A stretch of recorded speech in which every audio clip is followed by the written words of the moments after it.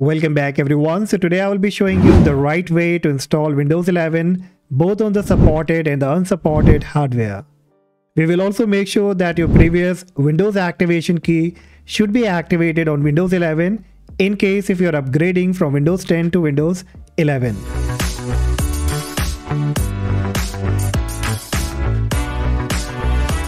Now before starting guys, make sure if this video helped you out then please hit the like, subscribe, the bell notification on so that you can get all the upcoming videos notification. You can also join my membership where you can live chat with me to fix any of your PC and laptop problem. Alright, so first you will have to bring up any of your favorite browser. Then you have to search for Windows 11 ISO download. Hit the enter key and then you have to click on the first link of Microsoft that says download Windows 11. Now here scroll down a bit and you will find an option download Windows 11 disk image. So click on the drop down, choose Windows 11 multi edition. Then you will have to click on download now. Choose your product language and also make sure that you choose the same product language that you had on your previous Windows in case if you are upgrading.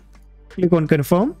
Then you have to click on 64-bit download and the downloading will now be started. Alright, so it's around 6.3 gigabytes, so it will take some time. So let's wait until the downloading is completed.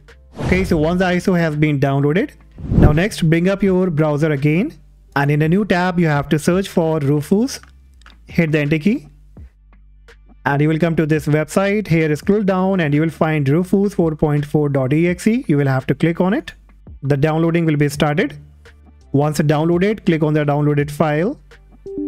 Click on yes and the Rufus dashboard will now be coming up. Now here on the very top in the device section, you will have to click on the drop down and you have to choose the right USB that you want to make bootable and installation USB of Windows 11. So I have a pen drive here, USB by the name SanDisk that contains 32 gigabyte and it's recommended that you should take any USB that should be of at least 8 gigabyte in space and you don't have any kind of data inside it because everything will be wiped out. So select the right USB. Then from the boot selection, you will have to click on select on the right hand side. Now you will have to locate to the location where you have downloaded the Windows 11 ISO. Select it, click on open. Now in the partition scheme, you will be getting two different options, MBR and GPT. MBR is basically the partition style for the old computer. So you can go with the GPT. But in case if you have a very old device, then you can go with the MBR section. Now in the volume label, you can rename it like Win11 USB and now you can click on start. And once you click on start, this kind of box will be appearing up. So as I said in the beginning that you can install Windows 11 on both supported and the unsupported hardware. So let's say if you're trying to install Windows 11 on unsupported Windows 10, then you can keep this option checked that says remove requirement for 4GB RAM, secure boot and the TPM.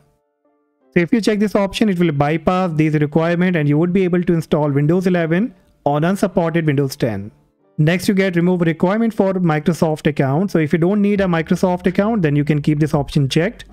Create a local account. And if you want that it should create a local account, then you can just type your desired username. Disable BitLocker if you want to disable it, then you can disable it. Disable data collection. Now, in case if you have a supported hardware that support Windows 11, I would recommend you that kindly go ahead and uncheck this option. Now once you are done, you will have to click on OK. Then it says warning all the data on the device will be destroyed. So as I said, if you have any important data, then go ahead and take the data backup first and then start the process. So click on continue or OK and the process will now be started. So you will have to wait until the bootable USB is ready.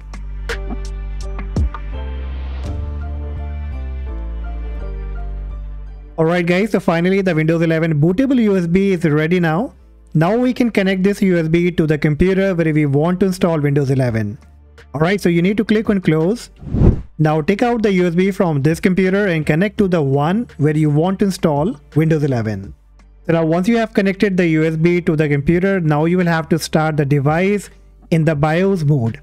So there can be different BIOS key like F2, Escape, F10 or F12. You can find that on the Google now restart the computer, then you have to tap on the BIOS key. Once you come in the BIOS, you have to look for the boot priority order or the boot sequence. Select the USB that you have connected, the bootable USB, select it, hit the enter key and the computer will now be loading with this particular bootable USB. And then finally, you will be getting this kind of Windows installation page. Now here you have to click on next. Click on install now.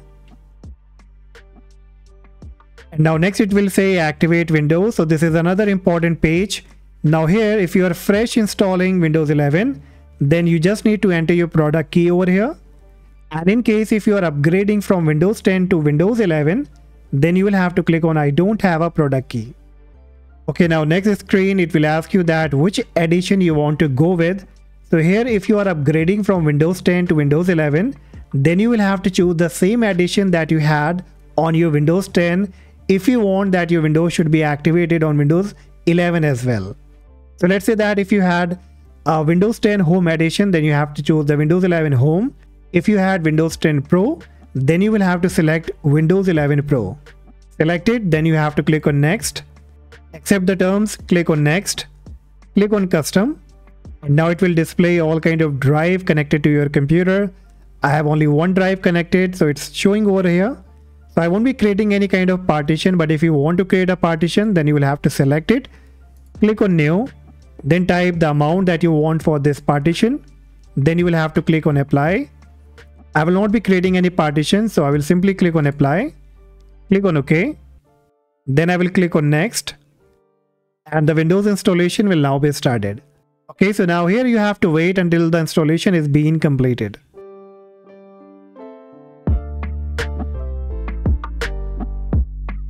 Okay, so finally we are in the configuration page. So here you have to choose your country or region. Click on yes. Choose the keyboard layout, then click on yes.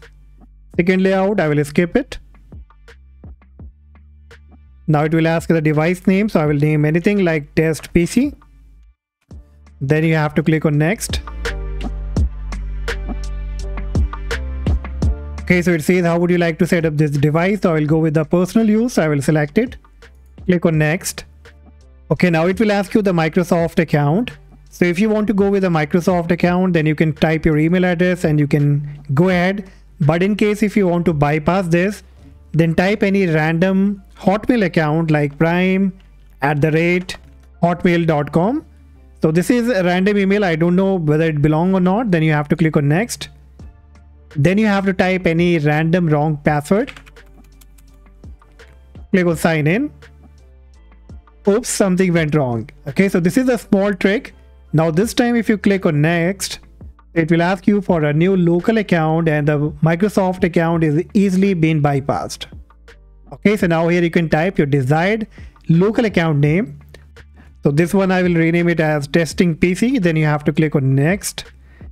Uh, type your desired password. I will leave it blank so i will click on next again choose privacy setting for your devices. So i will just uncheck all these options. I will disable them. I don't need. Then you have to click on accept.